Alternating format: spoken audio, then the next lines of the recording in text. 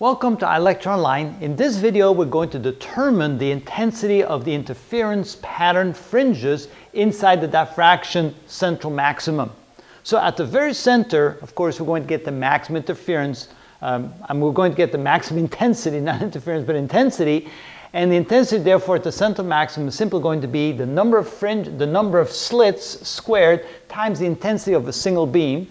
In this case, that's two slits squared times I sub naught, which is four times I sub naught. So the intensity of the central maximum is simply equal to four times I sub naught.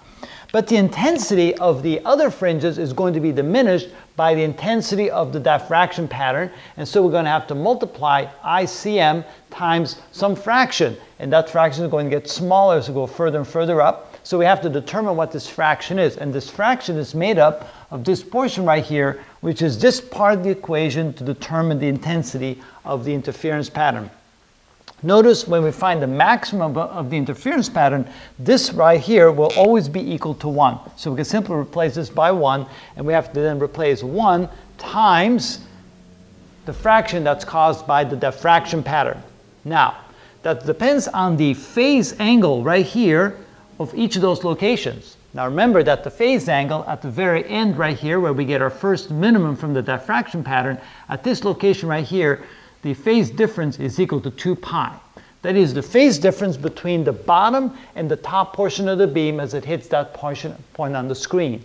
Now since these interference patterns are equally spaced out, and since there's five of them from the central maximum, one, two, three, four, five, that means the phase difference for each one of those is 1 fifth 2 pi, which means that the phase difference to the first interference fringe right here, that's equal to 1 fifth times 2 pi. The phase difference for the second one is 2 fifths times 2 pi. The phase difference of the third one is equal to 3 fifths times 2 pi. The phase difference of the fourth one is equal to 4 fifths times 2 pi. And then, of course, the last one, the phase difference to the fifth one is equal to 5 fifths times 2 pi, which is simply 2 pi, and that's where you get a minimum, that's where you get a zero intensity at that point. So you can say that the intensity at that point is equal to zero. Well, what's the intensity of those other ones? We have to find the fraction of the intensity at each one of those due to the, uh, the diffraction pattern. All right, so that means that F1 is equal to the sine of beta divided by 2, and of course for beta would be 1 fifth, that would be 2 pi divided by 5 divided by 2. So it would be 2 pi divided by 5 divided by 2 divided by beta divided by 2, and beta is 2 pi over 5, so that's 2 pi over 5 divided by 2. And of course the 2's cancel out like that, and then we have to take the whole thing and we have to square it. Okay, so now what is the what is pi over 5? Well, pi is 180 degrees divided by 5. So I have 180 degrees divided by 5 equals, that's 36 degrees. So we can say that this is equal to the sine of 36 degrees divided by pi divided by 5. And this whole thing needs to be squared. Okay, so 36. Take the sine of that then multiply times 5 and divide by pi. Because when we divide by fraction, we multiply by the inverse, and then we have to square that number, and we get 0.875. So that means that I sub 1 is equal to 4 times I sub naught times that fraction sub 1, which is 0.875. So multiply times 4, and we get 3.5 I sub naught. So this is equal to 3.5 I sub naught. Okay, now for the second one, for the intensity at the second fringe, we need to find f sub 2. f sub 2 is equal to the sine of, so it's the phase difference divided by 2, so it's 2 fifths times 2 pi. So it's 2 fifths times 2 pi divided by 2, divided by the phase difference divided by 2, which is 2 times 2 pi over 5 divided by 2. All right, and then we take the whole thing and we square that. So notice that this cancels out. So then we have 2 pi divided by 5. That would be equal to the sine of 30, oh, not 37, it would be twice 36, which would be 72 degrees, divided by, let's see, that cancels out, so it would be 2 pi divided by 5. Okay. And of course, I have to square that, can't forget. The square, so what's that equal to? So we take 72, take the sine of that, and multiply it times 5, divide by 2, and divide by pi. And then we square that, and we get 0.572. 0.572.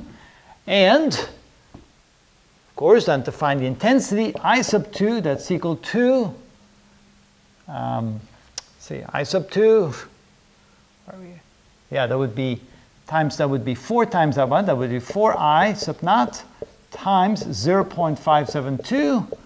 So multiply this times 4, and we get 2.29. 2.29 I sub naught. And that goes in here. 2.29 I sub naught.